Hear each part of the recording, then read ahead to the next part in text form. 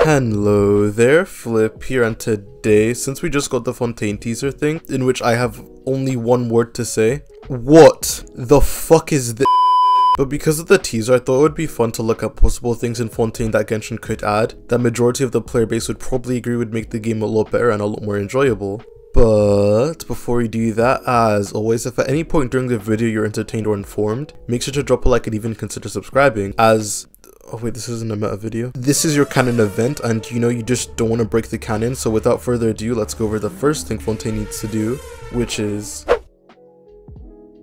Depending on how much emphasis Hoyo puts on war versus I, I just Depending on how much emphasis Hoyoverse puts on water exploration, whether it's just going to be a Fontaine thing, or this changes all of the water in Genshin, and by how much, I think this is probably going to be one of the biggest things Genshin has to do well with Fontaine, which is going to be really hard because for most games that don't have a water focus, water mechanics are generally dogshit. Genshin's current water mechanics are dogshit. How much stamina is swimming underwater going to take? How fast will it be? Do we constantly have to go up for air or are there going to be oxygen points or something? Do I get to see Eula wearing a bikini while she jiggles in 120 FPS? We also seem to be able to do attacks or use a certain gadget in this small teaser we got, but can we fight underwater and if so that is just something else they're going to have to nail well.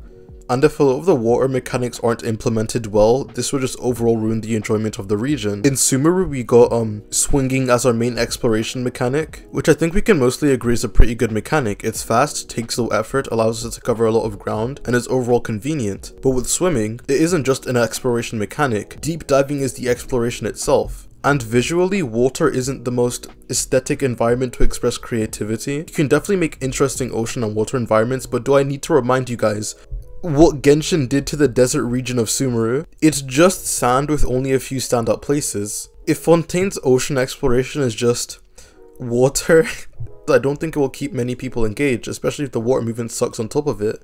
But that's all I can really say now, moving on to I think the second most important thing Fontaine needs to include. We are three years into Genshin, and I can only tell you a handful of things that have happened that have actually progressed the story in any meaningful way. Even Nahida saying that the sibling was in the Air, Air, Irminsul records still doesn't help the traveler get any closer to their goal at all. Each Archon quest is also extremely self-contained. The events leading to Mondstadt had no bearing on the events in Liyue, and the events in Liyue had no bearing on the events in the Inazuma story. Well, to be fair, I guess Scara getting the Gnosis did have an impact massively on Sumeru's story, but that's really it, and it's also an event the Traveler had no control over. We just got knocked out, Yae was a bitch and fluked. Besides that, the Traveler just goes to a region, fixes all of its problems with little consequence while learning nothing, and then on to the next nation. Genshin as a continuous narrative is kind of just not that great. Old characters are barely ever mentioned again because we need space for the new ones, most of which barely ever get developed or characterized because we have so little time with them. The most tragic thing to ever happen to a character was an NPC which they were also too afraid to outwardly say they died, and they were also never brought up again.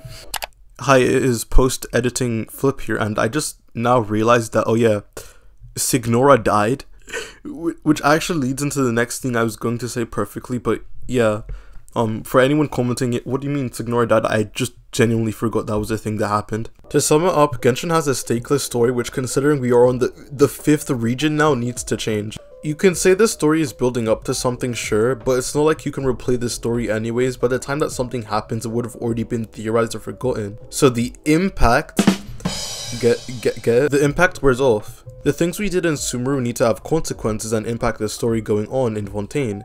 And in Fontaine, we need to seriously ramp up the stakes and build the endgame of the story. Otherwise, it will just fall flat and be lackluster.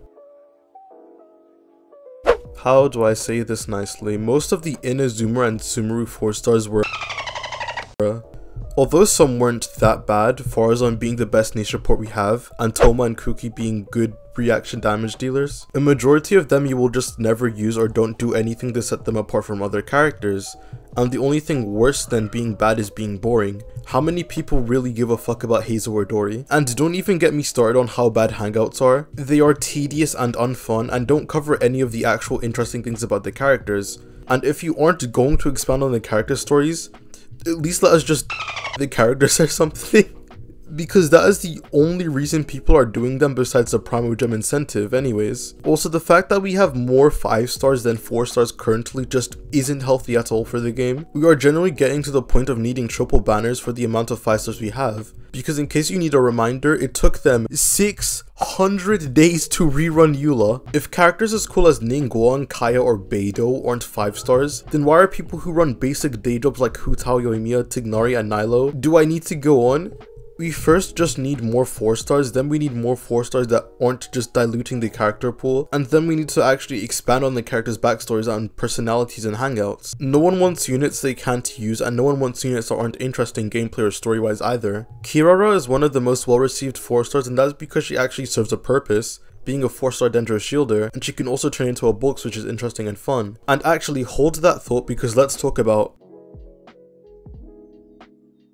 more and more units are just starting to overlap and serve the same role in a team, which also is not healthy and I think needs to be augmented. We got three defensive Dendro options basically back to back. The last Pyro character we had was Dehya who shares a lot in common with Thoma as defensive Pyro options that also have offensive coverage. The last time we got a Cryo unit that wasn't an off-fielder was Ayaka, Electro has been pretty diverse actually, but even then, Kuki and Dori share some traits. With Geo, the only 2 out of 7 characters we have don't scale with defense, and then with Hydro, Yelan and Xingqiu are literally the same unit with minor tweaks. TLDR, while I did at least think it was fine that certain elements did certain things specifically, unless they are really fun which most characters are off-field units, they can't exactly have a lot of gameplay expression then you never really have reasons to use them, which if you do like the characters doesn't feel the best. The fact that only Anemo characters can group give the element a unique identity, but if we were to get a Hydro, Geo, or Pyro grouper for example, there are a lot of interesting and fun synergies that could open up expanding the depth of gameplay a lot. I think there is a way to make characters similar but not the same. Look at Sucrose and Kaza for example. They are both quite similar and can be used as a one-to-one -one in a lot of teams, but they have enough differences to separate them which makes talking about and playing them interesting. I also think like with Kirara, Wanderer and Sayu, we need to have characters that have kits that can be extremely useful in the overworld and offer a lot of mobility. Now moving off of unit talk, I am a meta channel, I apologize. Let's talk about more general quality of life stuff. I'ma just say it, Genshin is way too stingy with rewards. And besides level up materials, most items in Genshin aren't really desirable. Like, oh wow, furniture. I love getting my region tree to level 50 so over half the show up can be furniture. One of the main reasons I stopped halfway through Sumeru is just because I felt like I was getting nothing.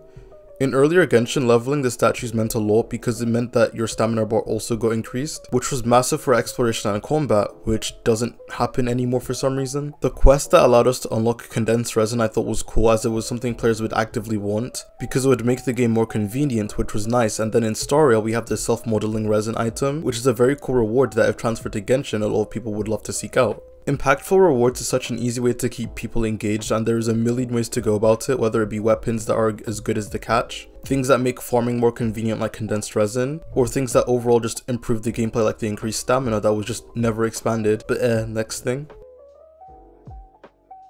To be fair, I've already given up the fact that Genshin will add any more permanent endgame systems, but Abyss. Can we at least make the Abyss better? The Abyss right now is a complete mess. We still have a cooldown problem when you reset and start the chamber too fast. While although is minor is very fucking annoying, it also causes a bigger problem with weapons like Sac, TTDS and Widsith that are all heavily cooldown reliant. Also the Abyss has scaled way too much. The early Abyss floor 12s compared to the current ones make them look like floor 9 chambers. Speaking of which, the jump from even just floor 11 to 12 is way too big. We need another floor in between them to make the Abyss more consistent. Almost all the blessings are useless and redundant. What happened to things like low tide and high tide that drastically changed the way you build teams? Why has Totem just been relegated to being a floor 11 thing? The Abyss can have a lot more interesting mechanics that aren't just time trials. I played God of War Ragnarok and I had insanely creative ideas on how to make combat trials interesting in their game mode called the Crucible. Sometimes you have to protect multiple zones from enemies, kill enemies without taking damage, kill enemies by throwing them off the map. You constantly die and lose health and the only way to counteract this is by killing enemies. And you know what's weird? Genshin has had some of these things before, but they never really are highlighted in the later floors. And it just seems weird because in my opinion, things like those would make the Abyss a lot better than whatever the fuck they are doing to it now. It is in an extremely dire need of change or people will just stop doing it. A lot of people have already just stopped caring, even the ones who could clear before. Everything has gotten a lot more restrictive and stolly, and not even the people interested in meta and team building give a fuck about the Abyss anymore. Okay, Hoyoverse. You disappointed me with Nahida, making her a baby wrapped in a tea towel, but... But... But... I have seen the leaks and Focalors is an absolute cutie patootie, a treat to the eyes, the beauty and the beholder. So, Zhongli is the Geo Archon and he's undoubtedly the best Geo unit. Venti, never mind. Nahida is the Dendro Archon and she is by far the best Dendro unit. Raiden is the Electro Archon and even though I don't agree, you can also argue she's the best Electro unit. So, so, I have one last plea. Hydro is the strongest element in the game right now, and Yelan and Xingqiu are absolutely ridiculous units. And that's why you better make my glorious shining queen Focalors the most unfathomably broken unit in the game. I don't know how, but you must. Because not only would it be absolutely hilarious, but you know, I got nothing. I just think it'd be funny as fuck. Also, Nahida was the last unit who was just insanely ridiculous, so please do not fumble with my girl. And well, on that note, thank you guys so much for watching. If you enjoyed the video, make sure to like, subscribe, and comment what you want in Fontaine, as I'd love to hear it and I respond to almost every single comment. Thanks again for watching, and I'll see you guys on the flip side. Peace.